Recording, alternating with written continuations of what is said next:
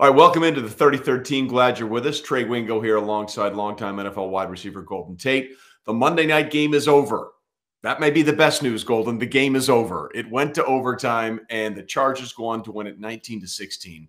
Look, I think we first of all have to give a lot of credit to Justin Herbert. In that week three game against the Chiefs, fractured rib cartilage. He's not going to be right for the rest of the year. The Chargers O line is banged up, but he made a couple of big time throws, including the one in overtime to really allow them to have a chance to win the game. Absolutely. And despite all those many, many issues that he's dealing with, O line, his ribs, yeah. which I've had rib injuries before, and the worst. You can't breathe, you can't laugh, you can't cough, you can't do anything really, let alone get hit there's only so much numbing cream can do. But anyway, despite all of that happening, he still was confident enough to stay in the pocket and make clutch throws, like you mentioned.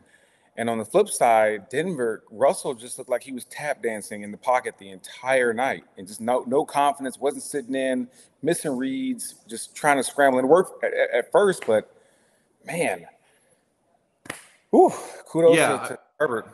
Yeah, let, let, let's let's settle in on the Russell thing here for a minute because in the first half or the first quarter, I think he was 10 for 10. He had three throws of 35 yards or more. We hadn't seen any of that. We're like, okay, hey, this, this is the Russell you know. This is the Russell I know. This, this is the way it's supposed to work. And then nothing, like Correct. literally nothing after that. What has gone wrong? Well, I, I think uh, the Chargers made a very easy adjustment and just say, hey, just one cover the guys and make the tackles, and we're just gonna we're gonna blitz you. Um, and, and Russell's just not what he used to be, and, and maybe it's a combination of age and the, new situation, but it just looks like a complete storm over there in, in Denver. I mean, not great coaching. He's trying to get settled in still. You look at the receivers, and they're not really getting open unless the defense makes a mistake they're falling down. They're just not on the same page. It's it's a lot of everything, but naturally, all of the blame is going to fall on two people: the head coach and the quarterback. But it's yeah. it's everyone. But look, for 245 million, I expect you to to make something happen. Something yeah. happen. Well, he, it seems like he's missing a lot of like on the first drive on third and two, the tight end was right there in front of him. He missed it. Now he made up for it with a great throw to the touchdown on the on the rail shot uh, later on in that first quarter. But for for a guy that's played with him, what are you seeing from him, or what are you not seeing from him that you used to be able to see from him? I the Russell that I've always known has always had a, kept his composure, been very confident and his ability and the people around him. Um, and out there, I, without him verbally going out and saying it, it just seems like he's so flustered and frustrated. And he, I just know he wants to burst out and say so much, but because of he's so worried about his image and and all these other things, he's just going to keep saying, you know, let's go Bronco country. We're going to stay with it and let's ride. And yeah. that ain't going to cut it. That's not cutting it anymore, especially not in that division. So, look, look, I, McManus has scored their kicker, the field goal kicker, has scored over half of their points this season. Yeah. And they're not paying him 245 million, I guarantee you that. No, so, they're not. Look, I, instead of Russ getting the offensive linemen, Rolexes, and, and whatever the quarterbacks get the O line, maybe he should get uh, McManus a, a, very nice present because without McManus, they would be they would have zero wins, in, in my opinion. So is is it fixable? Is what you're seeing out of Russell and Nathaniel Hackett? Look, you're right. It's not just Russell, but for most of his time in Seattle, this was not the Russell Wilson. So when you factor in, as you mentioned, the coaching, because Nathaniel Hackett's had some issues, there's no question about it, and the, the wide receivers aren't on the same page. Is what we see in Denver outside of that first quarter tonight? Is it fixable? I, I think it's. I, I do think it's fixable. I'm just not sure. I haven't put my hand on why it's so bad in the first place, but once I do, I think you're gonna have to get rid of that person. Um, I do think Russell has something left in the tank for sure, um, but is it fixable this year? Uh, in that division, mm, I don't know. I don't know. But but but then again, look, Denver their defense is playing very, very well. Very well. Their, that kid Baron Browning is unbelievable. He's absolutely. unbelievable. And so, because you have a defense that's going to give you a chance, like they did, like they had tonight, yeah. and so uh, I don't know. I, I, have so many questions. Like, why is Melvin Gordon not on the field? Uh, I just, I, I don't know. I, I just don't know. Yeah, well, listen. One thing that is fixable is I don't think we're going to see a lot of them in prime time anymore.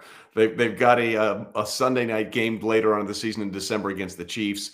Unless it's fixed, I'm thinking that one's going to be flexed out. I don't think we're going to see Denver in these. Their last two games have been primetime games. That Thursday night overtime loss to the Colts, where no one scored a touchdown, and the one here where they got one. Um, as for you mentioned Brandon McManus. Let's talk about Dustin Hopkins here for a second. He hurt his leg on that first extra point, and then he went out there and made three kicks and collapsed to the ground on each and every one of them. Obviously, there's some issues with that right leg. He's a good kicker, so the team likes him anyway. Let's be clear about that. But when you see a kicker do that, what does it do for the camaraderie of him being not just a kicker, but a football guy? honestly, I, that is something I've never seen on TV or, or certainly in person. A kicker having that much mental toughness and physical toughness. Like he is tough as nails. His the leg that he kicks with is hurt and yeah. noticeably hurt every single time he steps on the field. Every time the camera's on him, he's stretching it. Has he has pads on it, and he has enough mental focus and discipline and and pure will to go out there and execute and key key clutch moments that is that is overly impressive i don't want anyone to get lost in that like yeah. it wasn't his off leg it was his kicking leg okay right and to make i mean and these weren't like just extra points these were you know decently tough tough kicks he found a way and as a as an offensive guy or defensive guy coach i'm going to i'm giving this guy the game ball and I'm like, thank you. Like, thank you. You just did something that I didn't know was even possible. Like, and I'm just hoping that his injury is not too significant. But this story could get even more weird if it comes back. This guy's playing with, he's been playing with a torn meniscus or ACL or, or something yeah. crazy. Well, he was working on he was working on a quad injury before that. It looked like he was doing the back of his leg, and you know how that works. If something is hurt, you compensate for it somewhere else, and it looks like the the quad is the front of the leg, and it looks like it was the back of the leg or the hammy or something. We'll, we'll try and get more information about it as it comes down. But this is what we do know for sure: that the Chargers won again. They're four and two. Denver falls to two and four. Denver now goes cross country on a short week after playing overtime to take on a very, very inspired Jet squad. Mm-hmm. And the uh, Chargers head up to Seattle to take on the Seahawks. Yeah.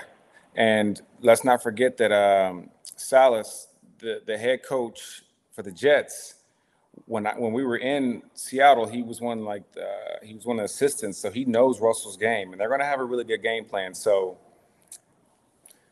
might want to hop on that uh, Jets train, J E T S train right now. Yeah, well, they, they got playmakers across the board. Like you can make a very compelling argument that they have the offensive player of the year in Breece Hall, the running back, the rookie of the year, and the defensive rookie of the year in Sauce Gardner. So uh, that's going to be no easy test as it has been for the last few years when you go to play the Jets. Golden, always good to talk to you, man. We'll see what happens next week. Can't wait. See you soon.